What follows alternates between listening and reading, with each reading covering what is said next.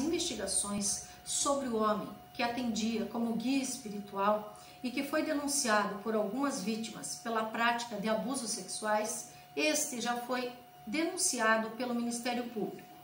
Foram oito vítimas que procuraram a delegacia da mulher e formalizaram as suas denúncias.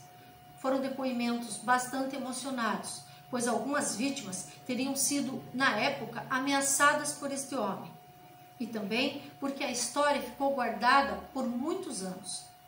Uma das vítimas relatou que acabou engravidando em virtude dos abusos sofridos sendo que esta notícia já está sendo objeto de investigação visando a busca de provas periciais.